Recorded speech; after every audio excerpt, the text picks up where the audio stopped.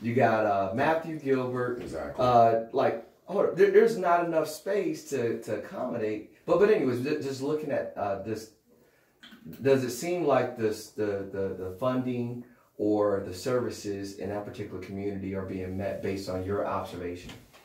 Um, no, not necessarily because that particular library is no bigger than this studio. And um, that brings about a problem because all of the kids are actually sitting on top of each other and waiting uh, to use the computers. And that's one of the reasons why we at Solid Rock is working on a um, a, a uh, after school program uh, so that we can help to accommodate that in our uh, fellowship hall.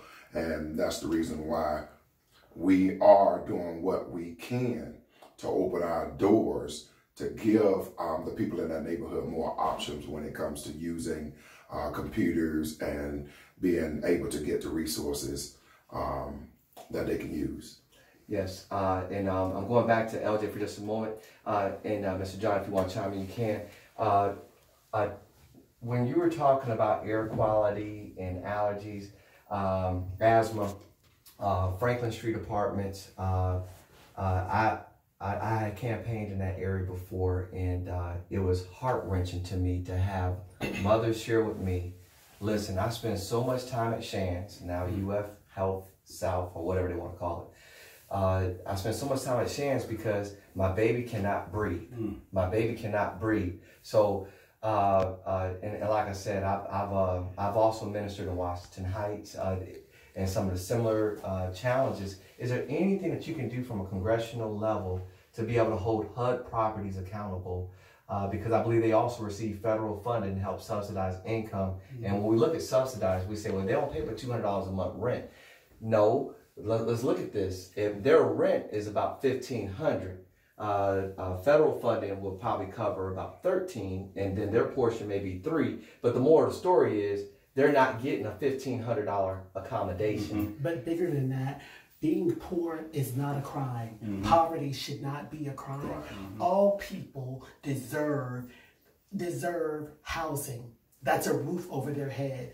All people deserve housing. But bigger than that, the federal level supersedes state and local. The dollars come from the Housing and Urban Development HUD. So as a member of Congress, absolutely I would hold the Secretary of HUD accountable or make sure they are fine until they make the living conditions for people who reside in federally subsidized housing because it's your taxpayer dollars that are subsidizing the HUD subsidy.